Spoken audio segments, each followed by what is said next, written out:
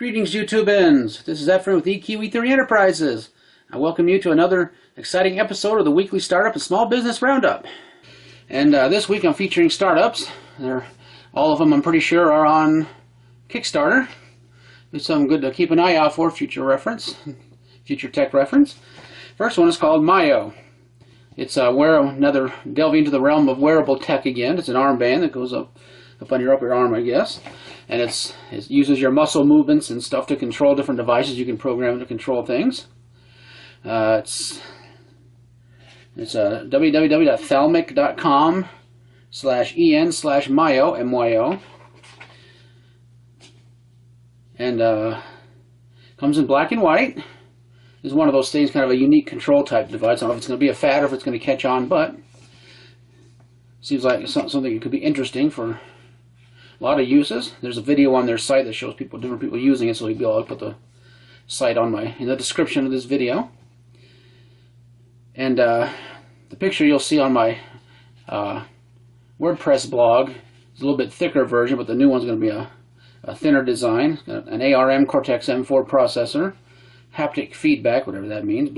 It connects via Bluetooth 4.0 low energy connection. It uses uh, proprietary EMG muscle activity sensors, uh, nine, a 9 axis IMU containing 3 axis gyroscope, 3 axis accelerometer, and 3 axis magnetometer. And it charges, it uses a, a micro USB uh, connector to charge. Got a built in rechargeable lithium ion battery. It says, uh, it says uh, the armband measures the electrical activity from your muscles to detect what gestures your hand is making. It also senses all of the motions and, and rotations of your, your hand and, and forearm through the 9-axis IMU. And uh, it'll work with um, Windows, Mac, IO, Mac, iOS, and Android. And it connects to them through uh, the Bluetooth 4.0 low energy connection, like I mentioned.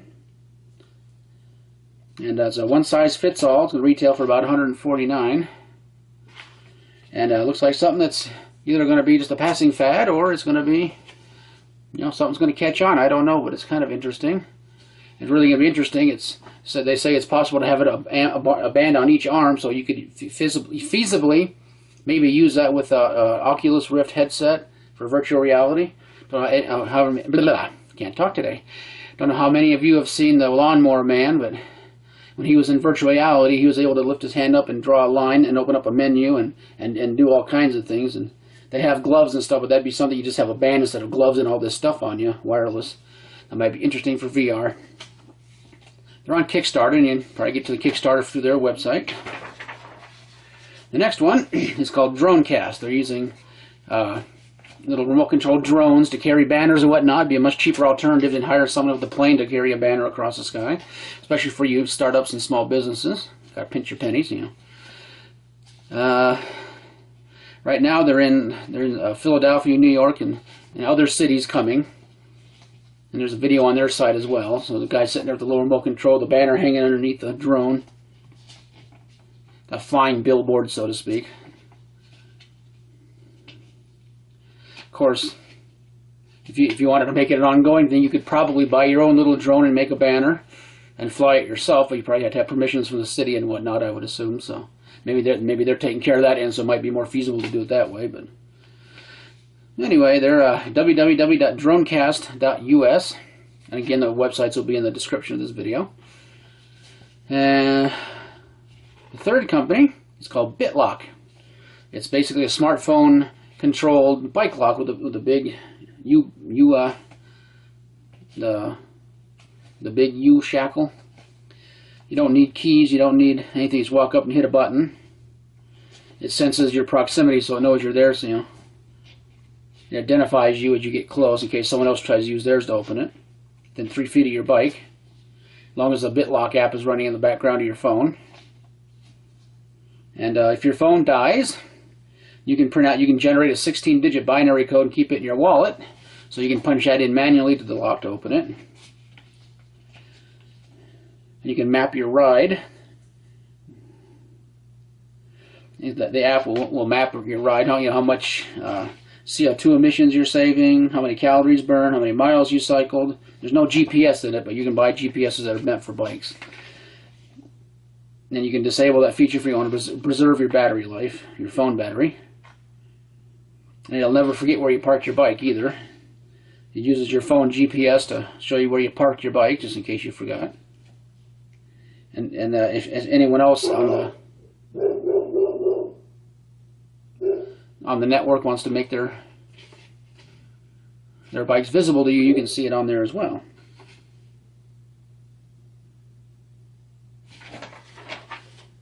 And there's a share feature you can share where your bike is. If you do like a like if you have a company where you want to rent bikes out, you'll be able to find them that way. And it supports iPhones uh, 4S or 5, 5C, 5S, iOS 6 and 7. And, uh, and, and, and certain Android phones running Jelly Bean 4.3 or later.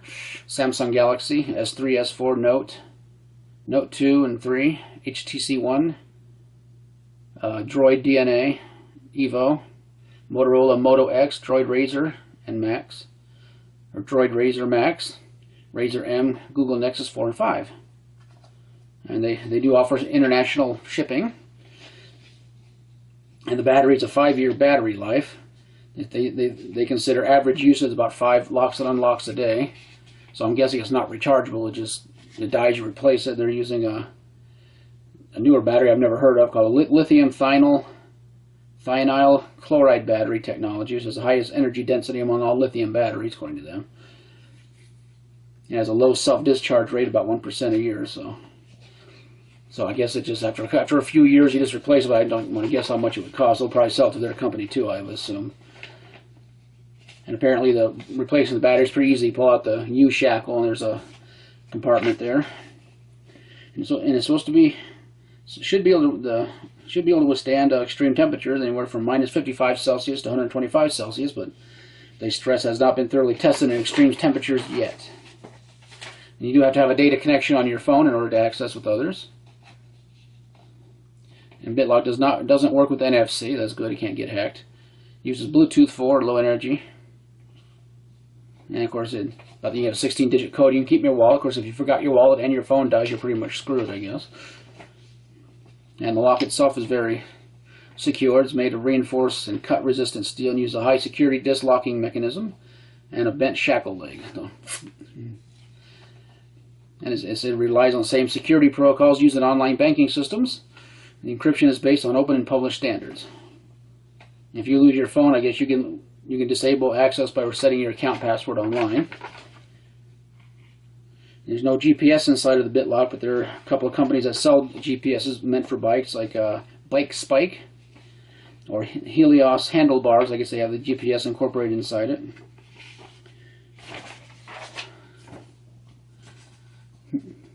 This is funny. He says, What happens if I share my bicycle with someone and they never bring it back?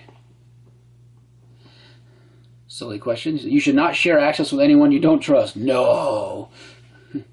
There's no subscription fee uh, if you pledge on Kickstarter to support them, but after that there may be a fee. I don't know. Okay. And the fourth business, I think that was three of them, wasn't it? My, oh, yeah.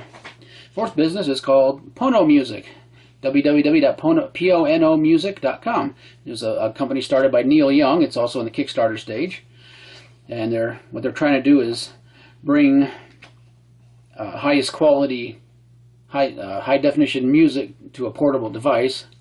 So ba basically, one step from the recording studio or the master tapes, and that's what he that's what that's what they're trying to do with this company.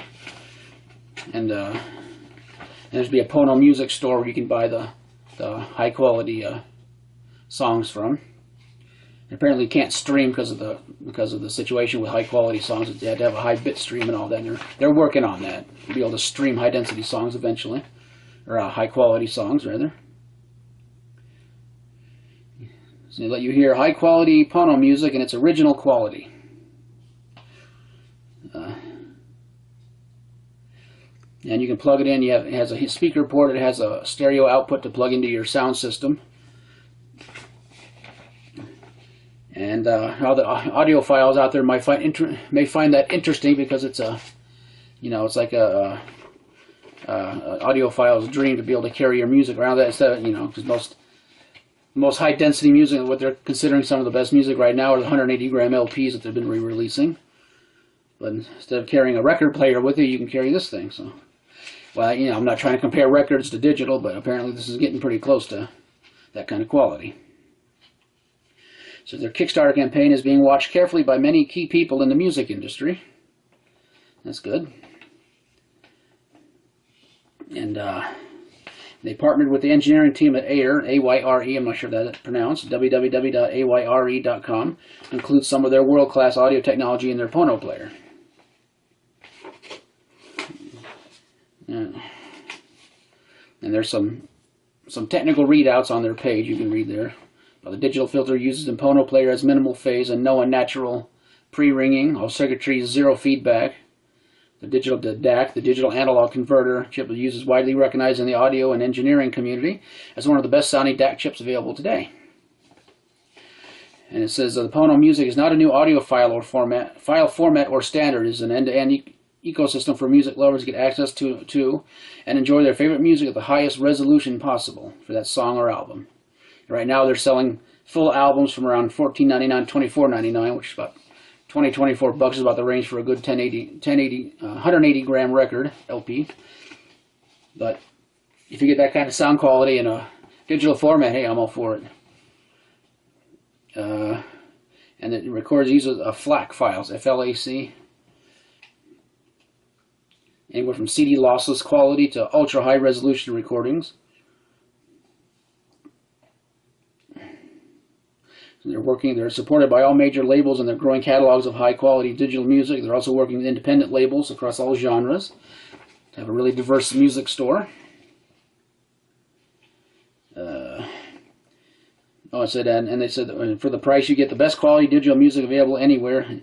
Anywhere. You own these albums forever. They don't live only in the cloud, but also on your computer and backup disk, and you can play them anytime you wish on your Pono player or other compatible devices. So apparently, if there are other other devices that use the FLAC format that have the kind of quality output, you can play it on there. Eventually, they'll they'll offer individual songs. There's not that point yet. And of course, you get a an app for your PC or Mac. Give you access to the Pono Music Store.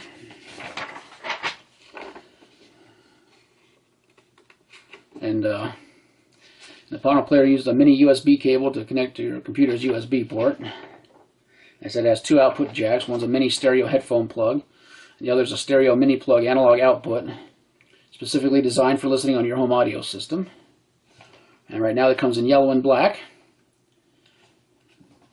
It comes with a charger, an adapter, a wall adapter, a micro USB cable,